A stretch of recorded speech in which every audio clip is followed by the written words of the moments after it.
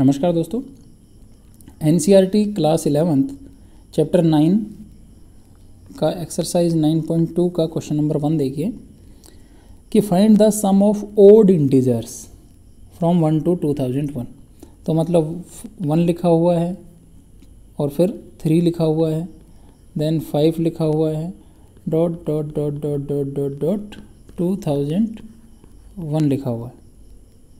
ठीक है? क्लियर है हमको इन सब का सम निकालना है, ठीक है?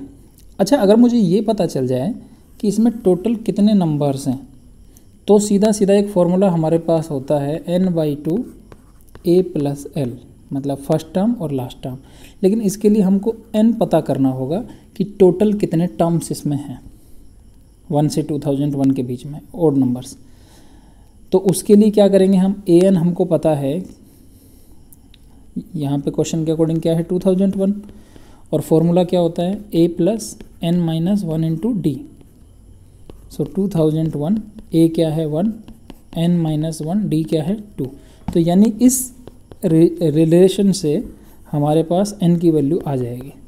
तो टू थाउज़ेंड ये वन इस तरफ़ जाके माइनस हो जाएगा equal to n minus one into two तो ये जो टू मल्टीप्लाई में है, इधर आएगा तो डिवाइड हो जाएगा।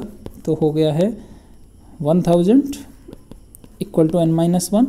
तो यहाँ से एन की वैल्यू आ चुकी है हमारे पास वन थाउज़ेंड वन।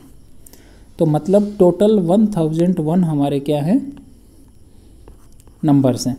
तो अब हमको सिंपल एस एन चाहिए था तो S one thousand one will be one thousand one by two.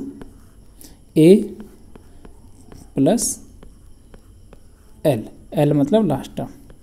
So two thousand one और one two thousand two divide करेंगे तो this is one thousand one का स्क्वायर क्यों? क्योंकि टू थाउज़ेंड टू को जब टू से कैंसिल करोगे तो वन थाउज़ेंड वन आ जाएगा।